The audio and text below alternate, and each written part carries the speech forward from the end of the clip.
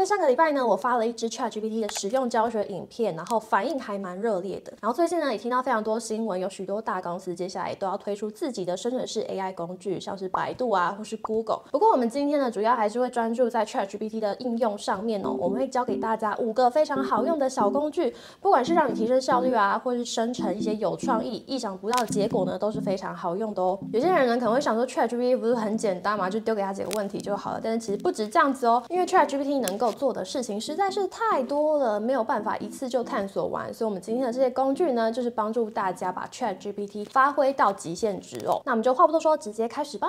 那首先第一个要介绍给大家的呢，就是结合 ChatGPT 跟 Google 这两个工具哦。因为很多人不是都说 ChatGPT 接下来要取代 Google 吗？那现在这个阶段呢，其实我们可以双管齐下，就可以最大化还有最快速的去搜寻到你要的结果。那要结合这两个非常强大的工具呢，有两种方式，一种呢是把 ChatGPT 直接接内建在 Google 的网页上面，那另外一个方式呢，就是反过来，就是把 Google 内建在 ChatGPT 里面了。那第一款工具要介绍的呢，它的名字叫做 ChatGPT for Google。那这个东西呢，你可以直接在他们的扩充商店里面找到，然后我也会把链接贴在资讯栏跟留言区。那我们今天下载完之后呢，按一下这个扩充功能的按键，里面呢，我们就去找到这个 ChatGPT for Google。我们按一下这个图钉，它就会出现在上面。那这款工具呢，是直接把 ChatGPT 放在 Google 的搜寻页面哦。我们来测试看看。例如说，我这边 Google 如何成为太空人哦，它这边呢会要求你登入，所以我们就先按一下这个网页。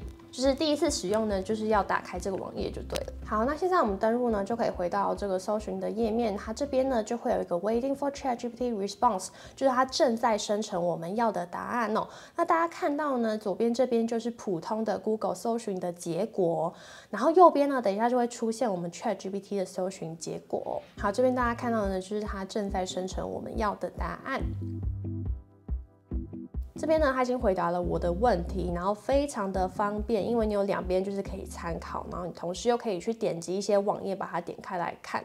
那接下来我们来讲一下另外一个方式，就是直接让 ChatGPT 去取用 Google 的搜寻结果。那一样的，它也是一个 Google Chrome 的扩充功能，它叫做 Web ChatGPT。然后执行它之后呢，你就会发现它跳到这个 ChatGPT 的网页哦。那大家看到这边就多出了一列可以调整的栏位哦。这边可以选说你想要多少个搜寻结果，然后时间限制跟地区限制。那假设我现在问他最新的 iPhone 是哪一只，然后我把它送出。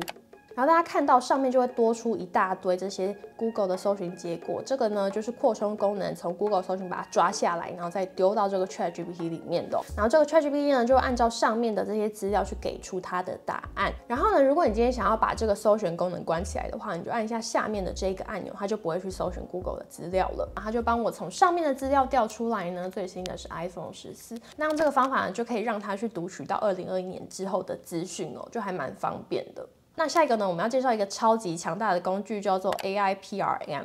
那它主要做的事情呢，就是直接让你在这个 ChatGPT 的画面看到其他人都用了哪一些关键字，而且这边呢，它都已经帮你分类好了，非常多种类，例如说写程式啊，或者是你想要写那个绘图 AI 的关键字，或者是行销啊，任何东西你都可以在这边找得到哦。然后就非常的好玩，然后里面呢，甚至还有越狱的指令哦。那越狱是什么呢？就是让 ChatGPT 做一些它平常不准做的事情。然后后面呢还有更多细项的分类，比如说我今天想要写脚本好了，下面下面这边呢直接就有 YouTube 脚本的搜寻结果，你就可以利用这个指令呢来生成你要的 YouTube 脚本哦。等于是说它会有一个模板，然后你只要在下面打入你想要生成的 YouTube 主题，例如说我现在打 iPhone 相机教学，然后把它送出。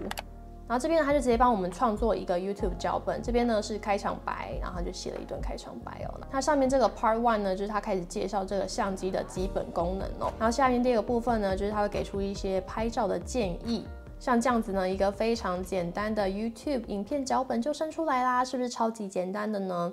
接下来我们要介绍两个网站，就是别人会把自己有趣的这些关键字呢，把它抛上去哦，就是超级好玩的。因为有些人可能会开发游戏啊、开发城市啊，或是开发 AI 绘图的关键字等等的。那第一个我们要讲到的是这个叫做 Show GPT 的网站，一开始点进来什么都没有。那我们按一下上面这个 Top。这边它就会展示说现在很夯的一些关键字是什么。那大家看一下这边，它就有分类标签哦，例如说它是网页开发啊，还是游戏类的啊，还是艺术类的，你就可以去参考你有兴趣的主题。这个 art 部分我们点进去。这边呢，他打了一大串这些东西是什么东西呢？其实他就是在教这个 Chat GPT 去写一个 AI 绘图的模板。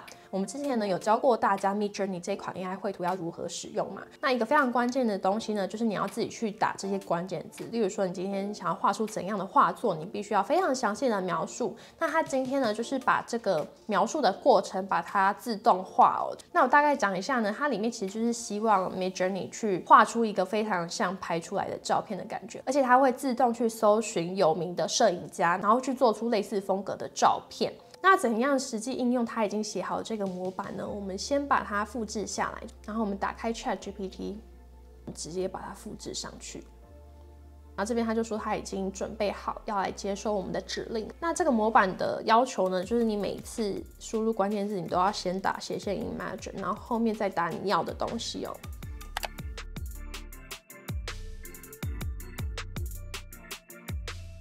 然后我们直接把它复制起来，接着呢，我们就要打开 Discord，然后把它踢到 Mid Journey 里面喽。一样，我们先把指令叫出来之后，后面的关键字的这个格子，我就直接贴上刚才的那些关键字，然后送出。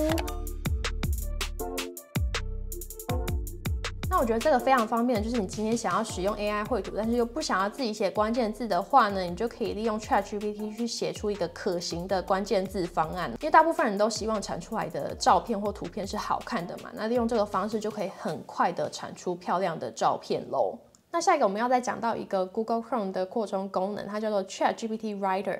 它是做什么用的呢？就是可以帮你回复留言啊，或是回复信件。因为有的时候呢，信件里面的用词可能没有办法马上就构想出来嘛。那使用这个 Chat GPT 就可以直接帮你写信件啊，或是回复网友的问题哦。例如说我们不懂他的问题的话，也许 Chat GPT 就可以帮我们解答。假设我们今天想要快速的生成回复的信件，要怎么做呢？我们一样先把这个内文复制起来，然后打开这个闪电符号。好，直接把它贴上。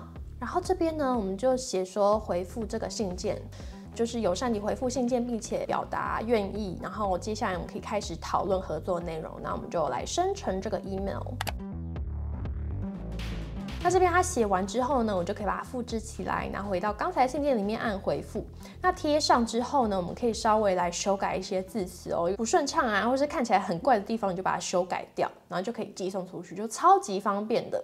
好，那我们今天呢五个非常好用的 ChatGPT 小工具就介绍到这边。那如果大家觉得还有什么实用的工具我没有提到的话呢，也欢迎在留言区跟我推荐哦。还有就是，如果你觉得这部影片还不错的话呢，可以帮我按个赞、订阅，还有开启小铃铛，才不会错过下一部影片哦。那我们就下次再见了，拜拜。